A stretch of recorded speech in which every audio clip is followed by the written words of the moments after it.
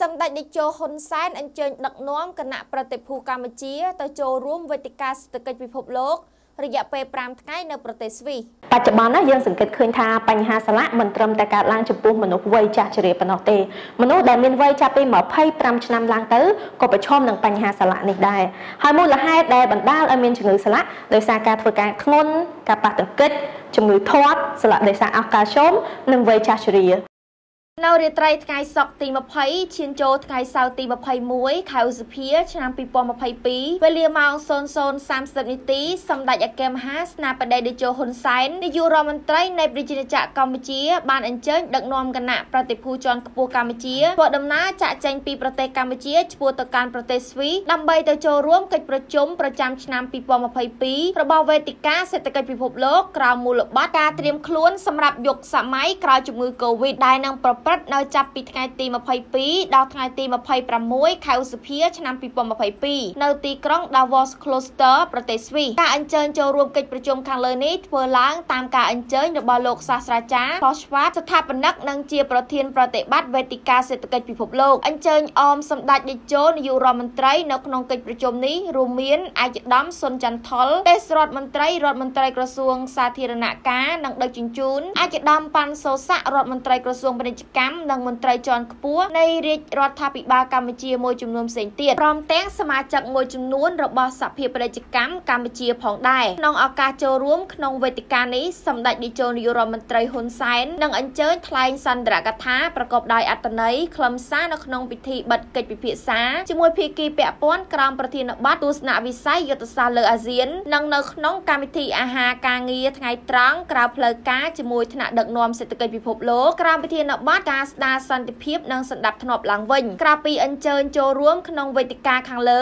សម្ដេចនាយកនាយករដ្ឋមន្ត្រីក៏រំពឹងថានឹងបានជំនួបពិភាក្សាការងារជាមួយថ្នាក់ដឹកនាំនៃប្រទេសមួយចំនួនក៏ដូចជាការទទួលការចូលជួបសម្ដែងការគួសមពីសំណាក់ឥស្សរជននយោបាយនិងធុរជនពិភពលោកផងដែរក្នុងឱកាសស្នាក់នៅប្រទេសស្វីសសម្ដេចនាយកនាយករដ្ឋមន្ត្រីហ៊ុនសែននឹងអញ្ជើញថ្លែងសន្ទរកថាបើករាត្រីកម្ពុជា Cambodia Night ដែលជាព្រឹត្តិការណ៍រៀបចំដោយក្រុមហ៊ុន World Bridge Group ក្នុងបំណងដើម្បីលើកស្ទួយអំពីធុរកិច្ចបរទេសនៅក្នុងប្រទេសកម្ពុជាជាមួយគ្នានេះសម្ដេចតេជោហ៊ុនសែនក៏នឹងជួបសំណេះសំណាលជាមួយបងប្អូនជនរួមជាតិខ្មែរដែលរស់នៅប្រទេសស្វីសនិងបណ្ដាប្រទេសអឺរ៉ុបផងដែរ ជ្រាបសួរនាងកញ្ញាជាទីស្រឡាញ់នាងខ្ញុំអែនណាមកពីសហគ្រាសវត្តមរំខ្មែរធម្មជាតិបច្ចុប្បន្នណាយើងសង្កេតឃើញថាបញ្ហាសាឡាក់មិនត្រឹមតែកើតឡើងចំពោះមនុស្សវ័យចាស់ជ្រាបប៉ុណ្ណោះទេមនុស្សដែលមានវ័យចាប់ពី25ឆ្នាំឡើងទៅក៏ប្រឈមនឹងបញ្ហាសាឡាក់នេះដែរហើយមូលហេតុដែលបណ្ដាលឲ្យមានជំងឺសាឡាក់ដោយសារការធ្វើការធ្ងន់ការប៉ះទង្គិចជំងឺធាត់សាឡាក់ដោយសារអស់កាល់ស្យូមនិងវ័យចាស់ជ្រា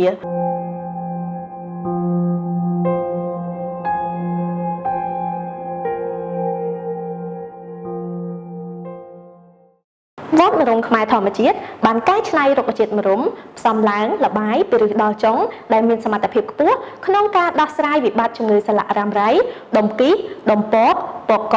ឬដងបាត ម្រិញរបេងកូនកដុលសាច់ដុសក្នុងដៃស្បូនបានយ៉ាងឆាប់រហ័សហើយថ្ងៃនេះនាងខ្ញុំសូមលើកយកផលិតផលឈុតសរីរាង្គក្រៅយកមកជម្រាបជូនលោកអ្នកវត្តឈុតសរីរាង្គក្រៅមាន4មុខហើយមាន2ប្រភេទប្រភេទទី1គឺសូនទឹកឃ្មុំប្រភេទទី2គឺក្របសំប៉ែតវត្តឯកទេសស្លាកក្របសំប៉ែតផ្សំឡើងលបាយពីឫសដល់ចុងនៃរុក្ខជាតិម្រុំល្អបំផុតសម្រាប់អ្នកមិនចង់ឡើងគីឡូហើយប្រភេទសូនទឹកឃ្មុំស័ក្តិសមបំផុតសម្រាប់អ្នកស្គមរីងរៃវត្តតាមរុំអាចជួយលាងសម្អាតស្ករខ្លាញ់អាស៊ីតជាពលនៅក្នុងរាងកាយលោកអ្នកវត្តត្រេងងខ្មៅមានសារធាតុប្រឆាំងអុកស៊ីតកម្មគឺជាសារធាតុដែលអាចកាត់បន្ថយការខូចខាតនៃកោសិកាដែលបណ្ដាលមកពីរ៉ាឌីកាល់សេរី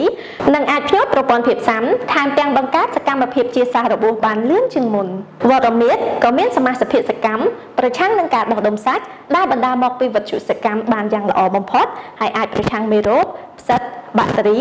និងភ្នាក់ងារបង្កជំងឺមហារីកបានផងដែរ បើសិនជាលោកអ្នកកំពុងតែមានបញ្ហាដូចនាងខ្ញុំបានជម្រាបជូននៅក្នុងវីដេអូខាងលើនេះសូមកុំអស់សង្ឃឹមហើយតាក់ទងមកលេខទូរស័ព្ទទាំង3ប្រព័ន្ធនៅលើអេក្រង់នេះឬឆាតតាមប្រអប់សាររបស់ទំព័រ Facebook ភាសាខ្មែរវត្តរំខ្មែរធម្មជាតិភាសាអង់គ្លេស What Natural ខ្មែរ Moringa សូមអរគុណ